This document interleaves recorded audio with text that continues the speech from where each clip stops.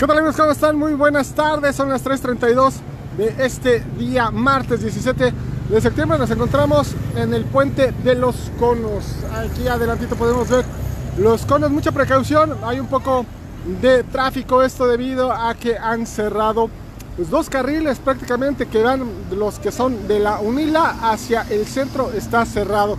Esto debido a que se hizo pues un hoyo. Ahorita vamos a checar este hoyo que es un peligro. Ya checaron aquí este, las autoridades, ya está protección civil, ahí los podemos observar y por supuesto también tenemos al director de vialidad. Vamos a platicar con el director de vialidad. ¿Qué tal? ¿Cómo estás? Daniel Vallejo, ¿cómo estamos? ¿Qué tal? Muy buenas tardes, aquí trabajando. Oye Daniel, a ver qué onda. Veo que están cerrados elementos de vialidad, están cerrando este puente de aquí de los conos.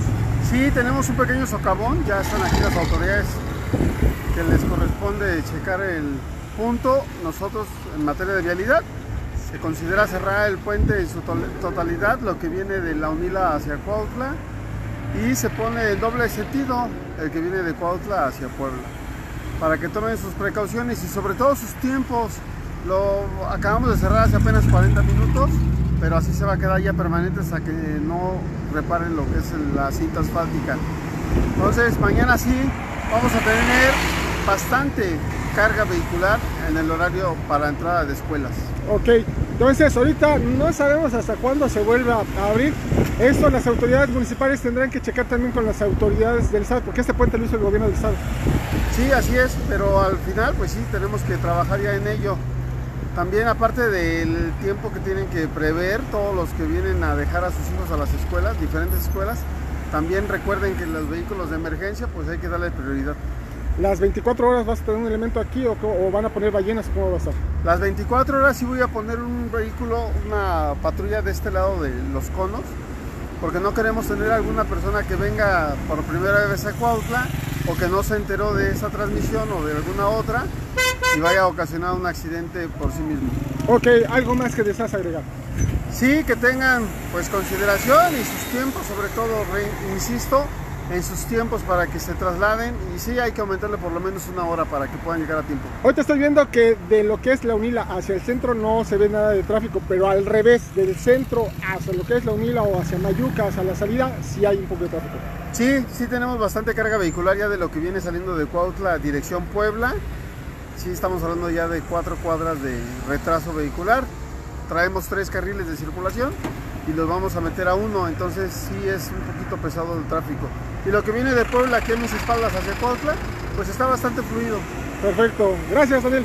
Estamos al pendiente. Ahí está, ya checaron ustedes, este es el socavón, miren, apenas se está abriendo, afortunadamente las autoridades se percataron y ya lo están eh, preveniendo para evitar que haya algún accidente. Este es el socavón que se encuentra, hasta aquí me voy acercando para hacer la de balas y déjenme decirle que sí hay bastante tráfico de lo que es del centro de Cuautla, de Cuautla hacia La Unila o hacia Puebla, sí hay bastante. Aquí están los elementos, están checando.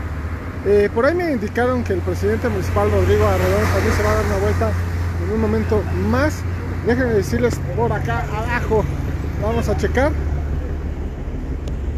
Y pueden observar que incluso, miren, ahí ya se está agrietando.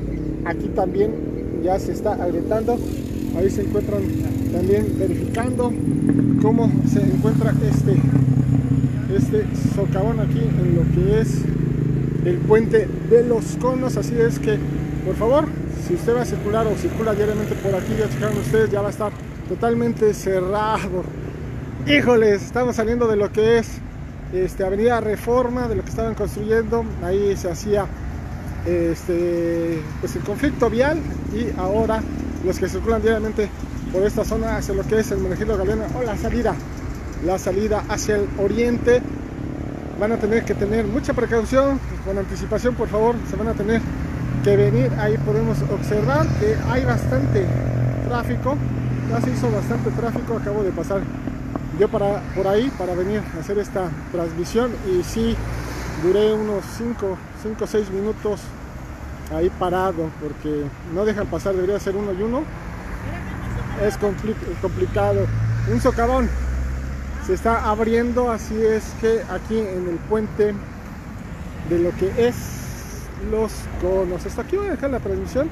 Por favor, tengan mucha precaución. Ya checaron ustedes, ya se encuentran aquí elementos de vialidad y protección civil. Esto es en el puente, aquí en el municipio de Cuaucla, conocido como el puente de los conos o el puente hacia la Unila o el puente hacia la zona oriente. Este es el socavón que se encuentra y por seguridad las autoridades han decidido cerrarlo. Va a permanecer esta área totalmente cerrada. Hasta aquí voy a dejar la transmisión. Ojalá y las autoridades agilicen. Jesse, hijo, no puedo leer su compostura ya que es la única vía de acceso. Tienes toda la razón. Ojalá que las autoridades agilicen esto y sea rápido. Fíjense que este puente ha tenido mucho, mucha problemática lo hizo el gobierno del estado y desafortunadamente ha tenido varios vicios. Y la empresa que lo realizó no se ha querido hacer cargo. De hecho, no ha sido entregada en su totalidad como debe ser hacia las autoridades municipales, precisamente por eh, esta situación de que ha faltado diversas cosas. Uno de ellos era la banqueta. este puente tendría que haber tenido banqueta, no, lo, no tenía banqueta eh, esta administración lo realizó las banquetas y entre otros vicios que no entregó el gobierno del estado. Hasta aquí voy a dejar la transmisión. Eh, en un momento más va el presidente municipal Rodrigo Arredondo a venir y a determinar qué se va a hacer.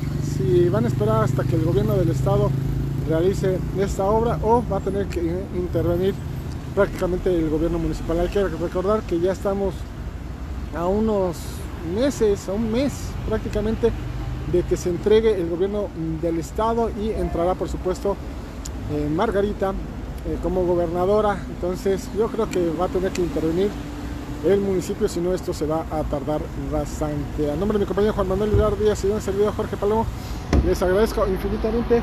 Cuídense mucho, compartan estas transmisiones para que más gente sepa. Adiós.